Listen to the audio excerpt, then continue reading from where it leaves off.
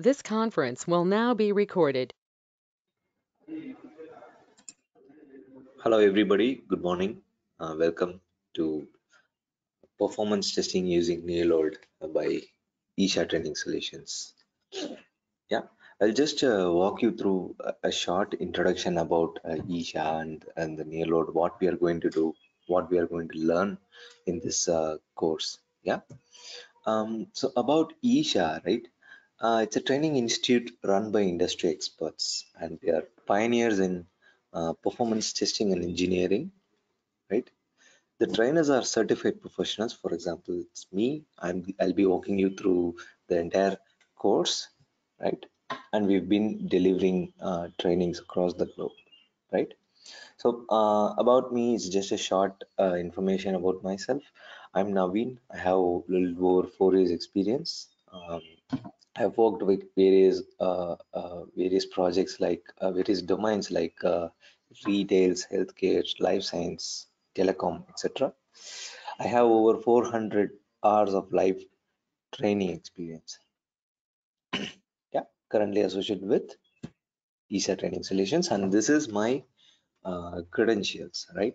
So I'm a certified expert in Neoload over the course we will also see how uh, you can uh, clear a, certif a, certification from the Neoload side as well right? So um, so we can uh, you know ask this question right? Why Neoload and it, it has certain um, features that no other performance testing tool is uh, has right now so as usual uh, as any um, performance testing tool right it is a continuous performance testing platform and it, it offers a, a powerful codeless design right? Um, faster test design which uh, when we uh, start working on it right we will easily come to know that this is one of the best tool for performance testing. And also it's it supports uh, CI/CD integration APM um, API testing, cloud testing, and uh, Neoload could be one of the pioneers for mobile app testing as well. Yeah. So uh, from this course, right? So I'll just I'd just like to walk you through on uh, the course content that what we are going to uh, look about it, right? So uh, we will be going through some of the introduction about uh, performance testing, introduction about uh, Neoload, and uh, we will be getting into this components of Neoload. So there are like three components, uh, three modules, um, design, um, results, runtime, and we'll be going through each and every one in detail, right? It is going to be a little extensive and practical oriented. Okay. Um, yeah, so uh, as I said, uh, so it's going to be rigorous hands-on. Uh, we'll be looking at a lots of example. There is practical example, and definitely this is one of the extensive content that you could get from the uh, anywhere, right? So uh, if I just open up, right, uh, Neoload. So this is this is a this is Neoload, right? Um, so what all the things that we are going to learn right? This is this is just a, uh, things that we have done in the previous batch okay? So if we can see um, so as i said uh, design runtime and results these are the three major modules that are in the Neoload so design is used for recording enhancing and developing your scripts. Runtime is for setting up a scenario and then going for the execution and results is finally analyze the results and then making some observations out of it right? Okay. So if we look at this right so we will be developing all these many scripts and each and every script is associated to some uh, topic right? For example if we look at this part okay that is correlation right? Correlation is is going to be uh, a core concept of any scripting so correlation just amounts to at least 70 to 80 percent of the script enhancement right?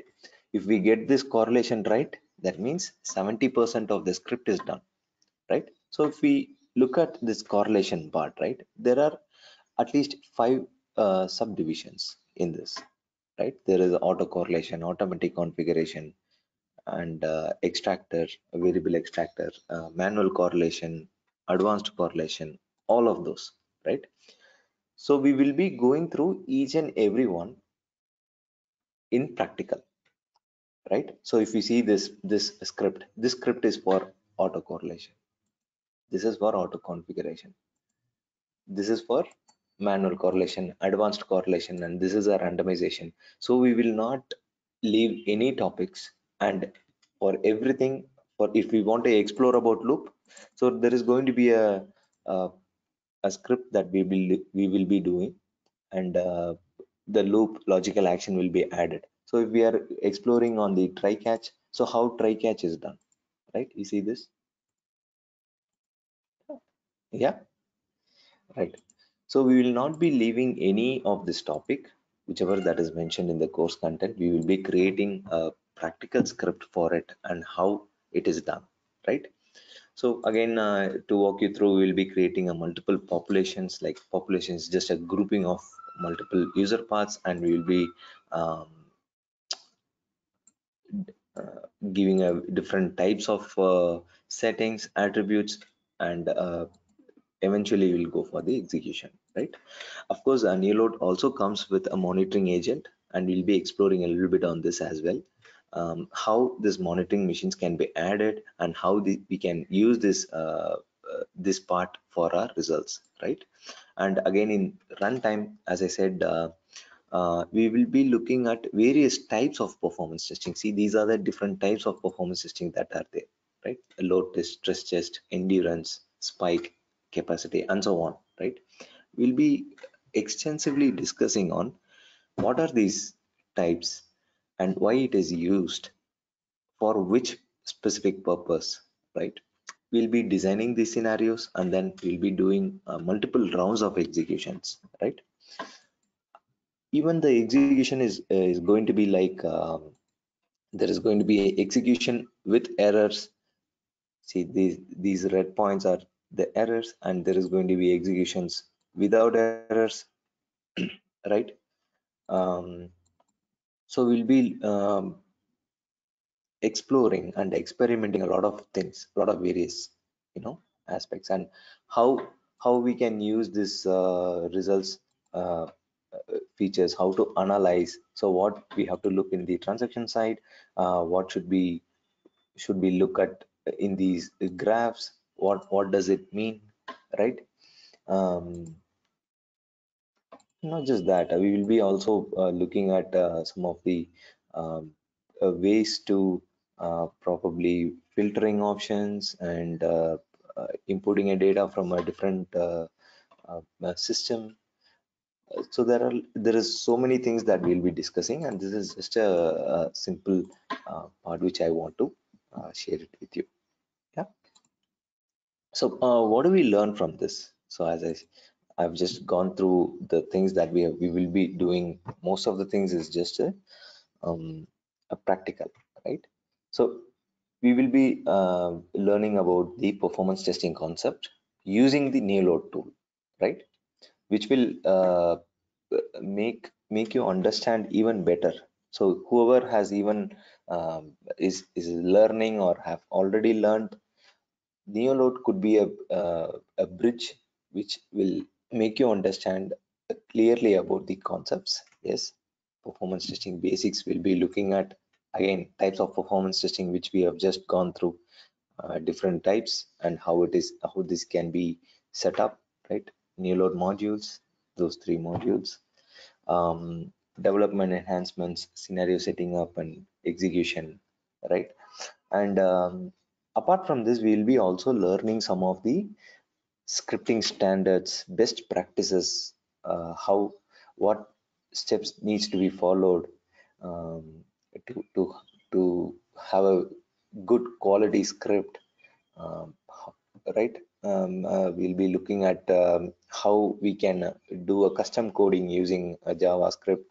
Uh, of course, we'll be also discussing about uh, APIs and Fiddler if possible.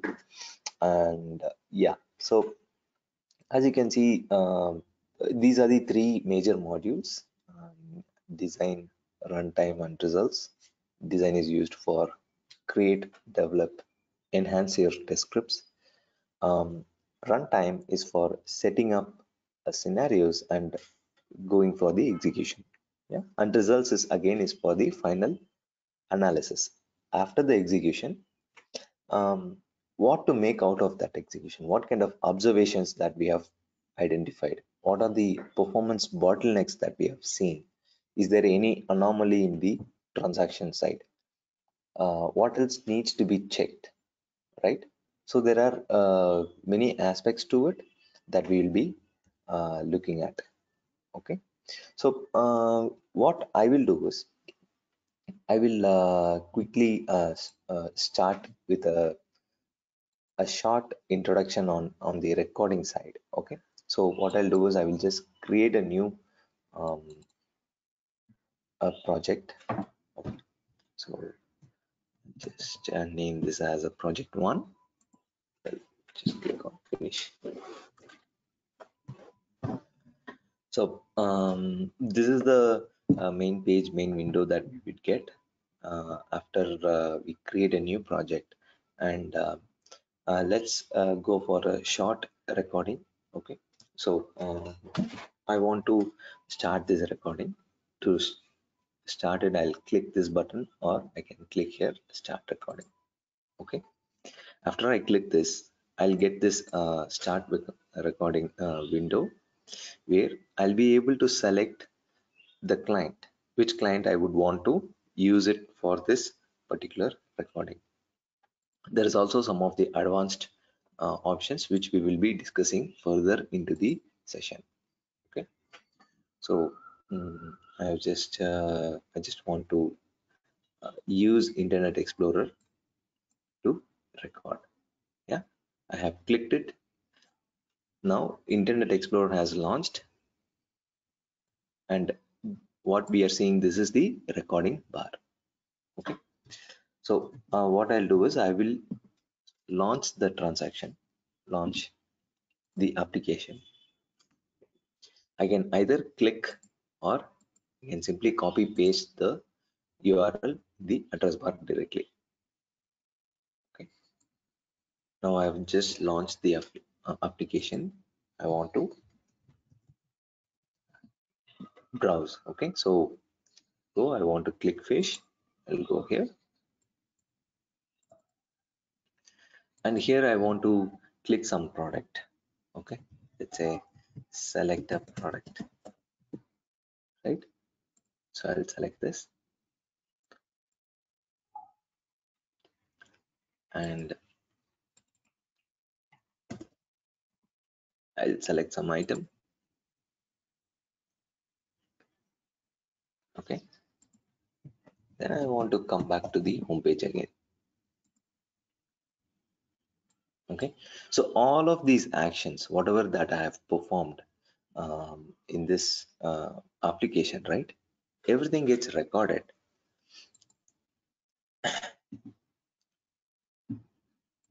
and after recording, this is the post recording wizard that we will get we will uh, explore about this little later okay but if we see this user path okay um, you can see this right so this is the uh, you see this there is a man type icon this is the user path and these are the these are called as containers.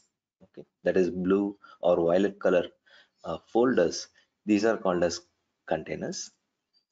And this yellow color folders are the transactions. These are called as transactions. Okay um, transaction or it's also called as user action. Okay so and under each and every transaction see there is a, a document uh, icon with a blue color ball type icon right? This is called as web pages. These are called as pages. And further if we expand this right these are the requests. These are the requests yeah?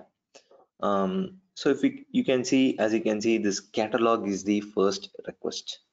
And there are other requests. These are the um, html uh, i mean non html resources or we can also call it as embedded resources right? Um, so uh, if you see there there is going to be some kind of a pattern here. I mean not just in this but generally um, when we talk about performance testing it is just the play of request and its response. Okay? I'd like to show you um, uh, further into this right? So if we one moment.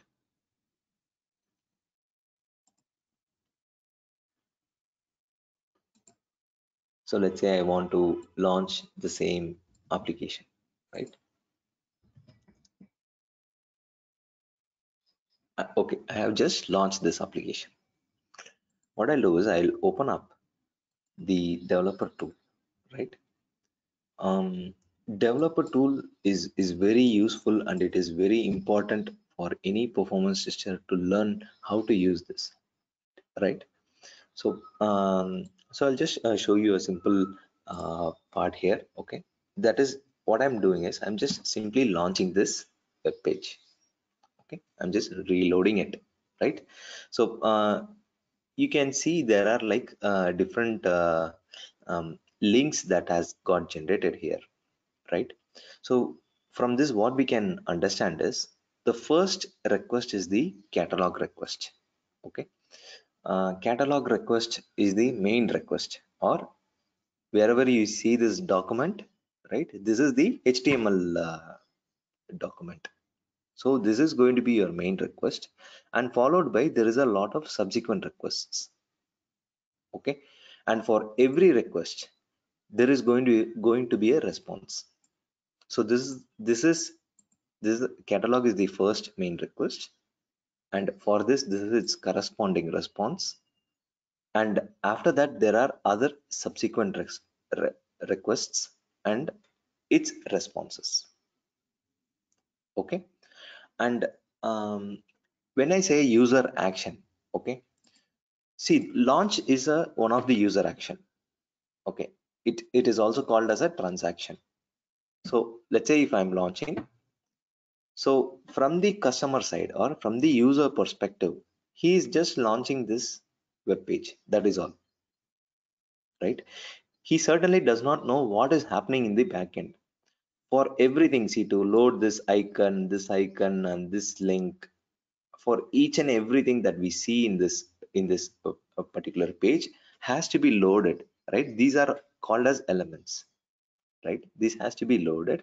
And how exactly this this gets loaded? And so basically what i'm trying to say is we are sending a request to the server and we are getting a response and to find the response time and to benchmark it or to um, you know uh, say that this is its performance right? To determines its performance is all about the performance testing right?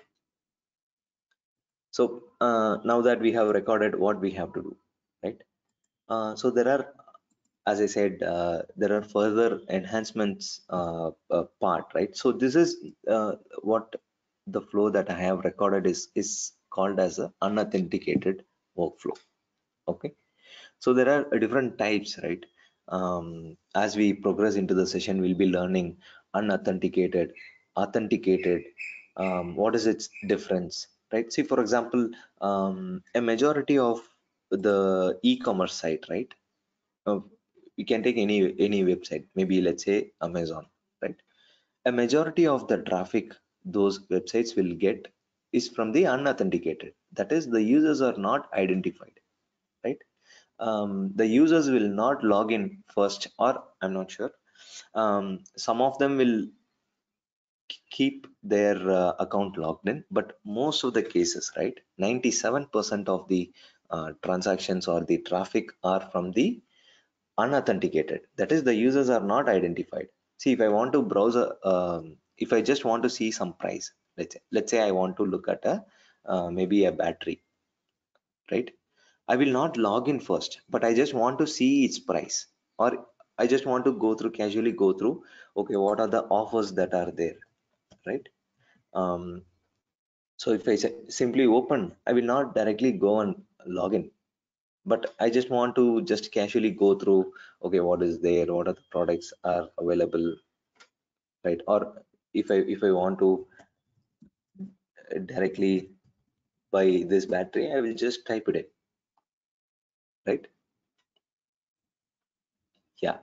So when uh, you so this is what i'm doing right now. This is called as unauthenticated. That means i have not authenticated my user id and certainly the websites hasn't identified me as naveen right?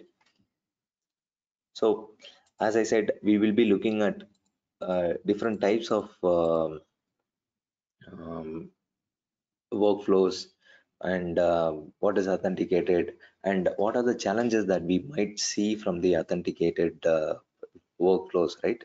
Possibly it's correlation. So we'll be discussing only on correlation little extensively and a lot of um, wait let me just open up the previous one yeah.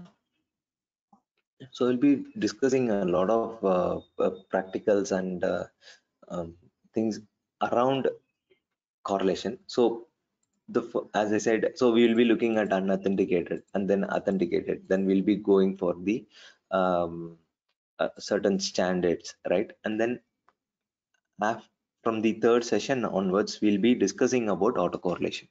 I mean correlation right? So it starts from autocorrelation. And from there whatever that we are going to do it is going to be with correlation right? So there is a lot of um, uh, practicals that we'll be working on on this. And we will be definitely creating these many scripts. And uh, so there is going to be different uh, types of uh, um, populations right we'll be discussing on this as well. Again the monitors then from the runtime side different types of performance testing. Um, yeah so uh, while while we do the execution what are these tabs and how we can uh, you know make use of these tabs right? Right now there is no execution. That is why it is nothing we can see here. Yeah? And from the result side uh, how to analyze the result right? Mm, what what we have to look at right? What what does these pages request? What all these metrics mean? And uh, we'll be also looking at um, client side metrics server side metrics um, how these systems communicate with each other right? And uh, other uh, um, end-to-end uh, you know uh, performance testing life, life cycle. What do we do in the life cycle? What is what, what what are the things that we will look in the requirement gathering? And uh, um, right as the entire journey of a, a performance testing project the complete end-to-end from requirement gathering scripting document preparation test plan um,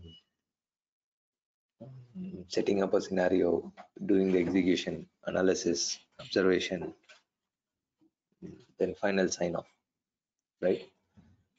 Complete part we'll be discussing. Yeah? So uh, any questions? So far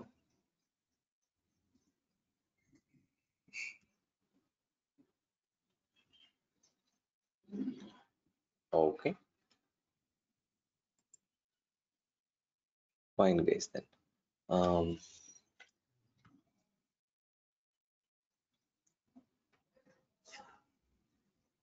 fine. Thanks all for joining. Um we will uh, uh, start the session as soon as possible. Yeah? Thank you. Thanks for your time